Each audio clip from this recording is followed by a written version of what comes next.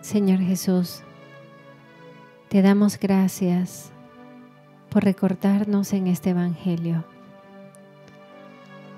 la importancia de ser sinceros,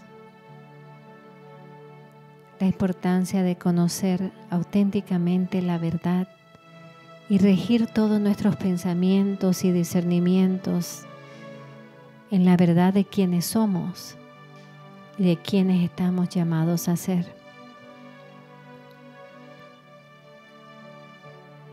Te quisieron poner una trampa, Señor. Quisieron hacerte elegir y fragmentar el deber cristiano con el deber terreno. Pero tú supiste la hipocresía y la trampa que te estaban poniendo. Esta misma realidad sucede todos los días en nuestra vida. Querer fragmentar la verdad sublime de lo que es la persona humana con los falsos tesoros y las falsas felicidades. Y la gran pregunta aquí que debemos hacernos antes de recibirte, ¿qué imagen está escrita en mi corazón?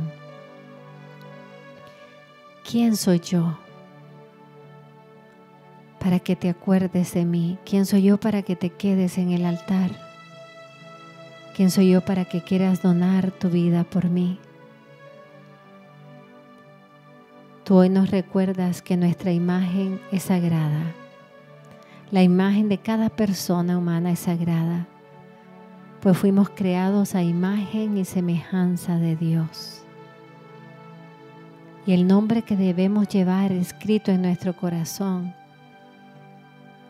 es el nombre de la vida divina, la vida de gracia. Y solo partiendo desde nuestra identidad es que podemos realizar todas las obras aquí en la tierra con la dignidad propia de los hijos de Dios.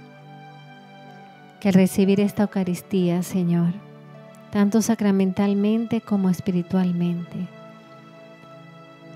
reconozcamos contigo dentro de nosotros que somos imágenes vivientes de Dios, que es amor, y que nuestra misión más alta en la tierra es hacerlo todo con esa dignidad, es realizar todas nuestras responsabilidades con la dignidad de quienes somos y recordarle al mundo que la persona humana es la corona de la creación de Dios.